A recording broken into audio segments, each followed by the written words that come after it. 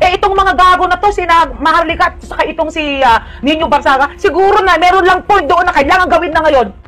At kung yung mga requirements man o kaya yung mga dapat nila i-comply, tapos na it's been there since 2014, hindi nyo ba naiintindihan yun? Kaya yung mga gago, mga ulol, o kaya kung sino-sino na, na nalaglag ang tornilyo ng kanilang pag-uutak, lalong-lalo na itong si Maharlika at itong si Nino Barsaga, itanin nyo sa utak ninyo, napakatagal na na na-comply na mismo ng ABS-CBN kung ano yung dapat nilang i-comply.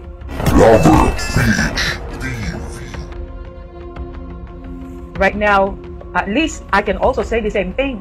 Kailangan ibato o kaya ibalik ko rin, isampal ko rin sa inyo kung ano yung mga pinagsasabi niyo sa akin. Right now, wala kayong utak. Ha? Dahil hindi nyo pa alam na very consistent yung sinasabi ko nung una pa, na wala nang sisihan. Kahit nga ba nakapagbitaw ang NTC, kahit nga ba nakapagbitaw ang, ah, ang Congress, na talagang hindi sila papayag na hindi mananatili ang pag-operate kahit natapos na yung, ah, ano yung franchise ng ABS-CBN ah, last May ah, last May 4. So nakapagpangako ang NTC, so hindi pwedeng madaliin. Kaya tano na nga mismo nagsabi na hindi pwedeng madaliin eh. Kaya nga lately, di ba sabi niya, na kaya we are giving them six months kasi instead sana, instead sana napabilisin nila para ibigay kung ano yung franchise mismo for 25 years. Pero mas maganda na talagang pagtuunan pa rin nila ng pansin ko na yung mga issues. Oh, kaya nga they're giving them at least six months, di ba? And of course, dahil nga sa mga nagsasabi na ay hindi dapat kailangan bigyan, kailangan hindi talaga ibigay ni Cayetano or ang Congress o kayo House of Representatives, hindi dapat nila ibigay ko ng provisional authority kasi maraming mga issues mga ganun. Kaya kung ano yung mga naisang pa dati na co-warrant to ni Solgen, ha? Those were already, ha? They already became moot at mismong itong si Attorney Roque, Attorney Harry Roque, o kaya siya yung presidential spokesperson mismo ng ating presidente, siya mismo ang nagsabi, moot. Ibig sabihin, it's no longer, ha? It's no longer valid at the moment kasi, by the time nung sinampa yun, andun pa rin, hindi pa na-expire yung franchise. Pero ngayon, dahil sa na-expire na, so, ha? Wala na. ba? Ang point ko dito is, yung sinasabi ni Nam Harlika at saka itong si ah, Gagong Ninyo Barsaga, ha? Itong dalawang bobo na to, 'di ba? Ewan ko lang kung saan nila nasagap. Siguro dahil lang at that time, dahil yung day na yon, of course, they really had to make sure na yung day na yon, kailangan nilang tapusin. Kaya isinip aside nila sa day na yon, hindi yung yung panahon ng kagipitan, yung panahon ng pandemic, yung panahon na talagang uh, kinakalaban natin ngayon, di ba? Hindi yun eh.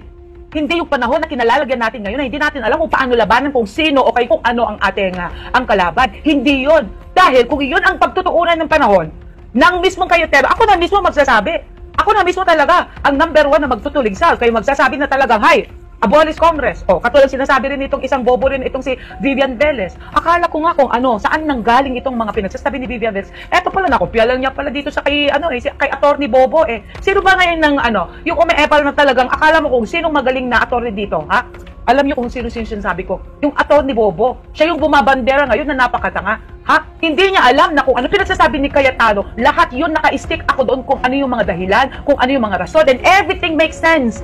And I am sure that the president is going to agree later on. Kaya sinasabi nila, oh, ngayon dahil si Cayetano ay bumalimbing. So, ibig sabihin, balimbing na siya. Oh, bigla na lang pumanig na sa dilawan. Bigla na lang siguro siyang na, ano, nabigyan ng pera. Bigla sila, siya sigurong na, ano, na, nabayaran. Kung sino-sino yung mga sumasang-ayon ngayon na magkaroon ng provisional o kaya na magkaroon ng ah, franchise o kaya ipagpapatuloy ABS-CBN kung ano yung kanilang uh, serbisyo. Yan sinasabi na nila kayo na puro dilawan. Sandali lang, ako hindi ako dilawan. DDS ako. Hindi nga lang ako DD-shit dahil yung mga DD-shit na katulad ni na Ninyo Barsaga at itong si Maharlika, ha? Buti pa nga itong si Banat Bay. At least kahit paano ginagamit niya ang utak niya. Hindi siya banat ng banat ng banat na hindi porke ikaw ay DDS, eh kung ano na yung mga sinasabi ng mga tao, oy, DDS ka, kailan patunayan mo. Eh ngayon, dahil may mga mali na nasabi ni Cayetano, kailangan talagang anuin mo. Kailangan talagang uh, supalpalan mo or whatever. Oh, pero hindi niya ginawa yun. Kasi ginagamit niya ang kanyang utak. Matalino siya. Siya yung totoong DDS. Hindi, da- hindi siya DD-shit.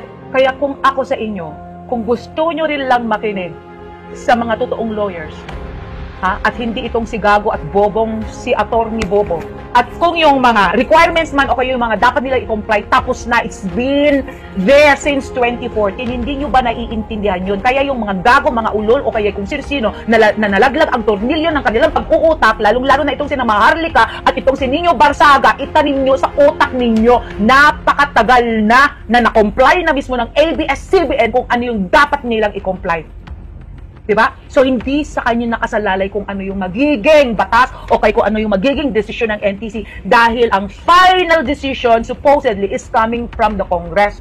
Pero akala nila okay na yung nakapagsulat lang sila. Pero natural ang NTC at pinaira lang batas, kaya nga naman sabi niya, hindi ko pwedeng ibibigay yon unless na may kasulatan, unless may naipasang bill talaga na may provisional authority coming from the Congress, kaya hindi pwede. Eh since nga naman na dahil nag, ano, dahil nga sa mismong nakapagbitaw naman itong si Cayetano, na siya na mismo ang gagawa mismo ng paraan in case man, siya na mismo yung mag-switch or mag-turn on ng switch or whatever, kung ano ang sabi niya at that time. Well, gusto lang niya ipakita sa ating lahat na siya ay may word of honor. Kasi nagtiwala tayo sa kanila. So they will have to prove na sila yung mga taong pwede natin pagkatiwalaan. At kung sinasabi na natin na abolish Congress, abolish Cayetano, or tanggalin at palitan na si Cayetano, paano pa natin mai tama ang mga pangyayari kung mismong tayo ay sasang-ayon sa mga kabubuhan nitong attorney gadon na to na instead sana ah, na ituwid kung ano yung mga mali sa tama, ginagawa niyang karumal-dumal, ginagawa niyang complicated. At saka yung mga vloggers naman, na walang utak, na hindi muna nila pakinggan ng tama, buti pa nga si Banat Bay, oh, ha? Isa-isa niyang pinapakinggan. Eh, itong mga gago na to, sina Maharlika, saka itong si uh, Nino Barsaga, siguro na meron lang point doon na kailangan gawin na ngayon. Senseless. Nakapagsabi naman siya ng gano'n, he was referring to that day, he was referring to that time na kailang gagawin na nila at tapusin na nila because they ought to do that. Obligasyon nilang gawin yun. Kaya kung ano yung mga dapat nilang obligasyon na gawin right this point, they will have to finish it para matapos na ang problema na to. Hindi kayo si Banat Bay. Siya lang yung may karapat gagawin ng ganyan. Kasi siya nga naman, ginagamit pa rin niyang utak kahit DDS siya. Katulad ninyong dalawa, Maharlika at Ninyo Barsaga. Kayong dalawa ang mga good examples ng mga DD shit. Shame!